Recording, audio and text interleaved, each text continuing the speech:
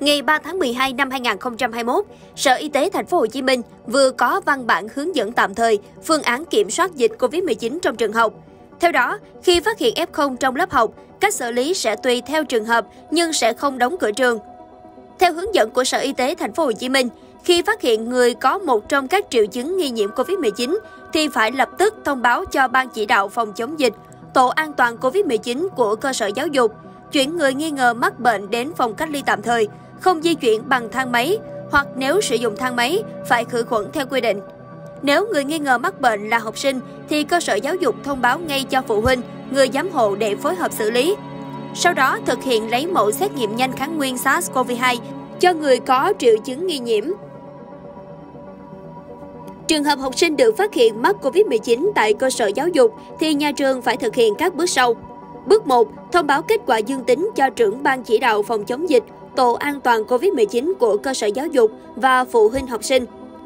Tiếp tục cách ly tạm thời F0, đồng thời thông báo ngay đến trạm y tế, trung tâm y tế địa phương để phối hợp triển khai biện pháp phòng chống dịch. Bước 2. Đánh giá tình trạng sức khỏe của F0.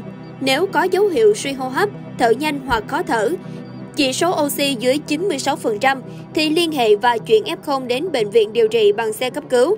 Nếu không có triệu chứng hoặc có triệu chứng nhẹ thì tư vấn, hướng dẫn phụ huynh đưa học sinh về nhà để được trạm y tế địa phương nơi cư trú tiếp nhận xử lý theo quy định. Bước 3. Tạm ngưng ngay tiết học để vệ sinh, khử khuẩn lớp và xét nghiệm kiểm tra cho toàn bộ học sinh, giáo viên có mặt trong lớp đó, tức F1, còn các lớp học khác hoạt động bình thường. Bước 4. Theo dõi F1 đối với tất cả học sinh, giáo viên trong cùng lớp học với F0. Đối với F1 đã tiêm vaccine đủ liều hoặc đã khỏi bệnh COVID-19 thì được đi học và làm bình thường nhưng tuân thủ 5K, xét nghiệm lại vào ngày 37 và tiếp tục mỗi 7 ngày bằng phương pháp xét nghiệm nhanh kháng nguyên cho đến khi không còn phát hiện F0. Những F1 này cũng cần khai báo sức khỏe mỗi ngày cho nhà trường và xét nghiệm ngay khi có triệu chứng. Còn những F1 chưa tiêm vaccine COVID-19 đầy đủ hoặc đã tiêm nhưng có các yếu tố nguy cơ như béo phì, mắc bệnh nền thì cần cách ly tại nhà theo quy định, khai báo y tế mỗi ngày cho trường và trạm y tế địa phương đồng thời xét nghiệm kháng nguyên vào ngày thứ 14 hoặc ngay khi có triệu chứng. Riêng với bậc mầm non, nhà trẻ, nhóm trẻ nếu có một ca dương tính COVID-19 thì cho toàn bộ học sinh cùng lớp cách ly tại nhà theo quy định.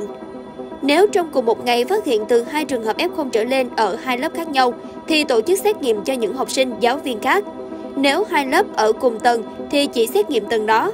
Nếu khác tầng thì xét nghiệm cho toàn bộ khối nhà. Còn nếu hai ca này không có yếu tố dịch tễ liên quan thì chỉ xét nghiệm cho hai lớp có cả F0. Với trường hợp học sinh phát hiện nhiễm COVID-19 tại nhà, khi nhận thông báo từ gia đình, các cơ sở sẽ thực hiện từ bước 3 trở đi. Đối với người lao động, gồm giáo viên, công nhân viên, quản lý, khi phát hiện mắc COVID-19 tại trường thì cũng xử lý tương tự. Tuy nhiên, Sở Y tế cũng lưu ý dựa trên hướng dẫn này, Ban chỉ đạo phòng chống dịch của cơ sở giáo dục phối hợp với y tế địa phương đánh giá tình hình thực tế để quyết định thu hẹp hoặc mở rộng quy mô xét nghiệm tầm soát trong cơ sở. Tùy theo trường hợp cụ thể, Ban chỉ đạo phòng chống dịch quận huyện thành phố Thủ Đức quyết định việc ngừng hoạt động của cơ sở giáo dục. Báo Thanh niên sẽ tiếp tục cập nhật tình hình dịch bệnh COVID-19 trong các bản tin sau.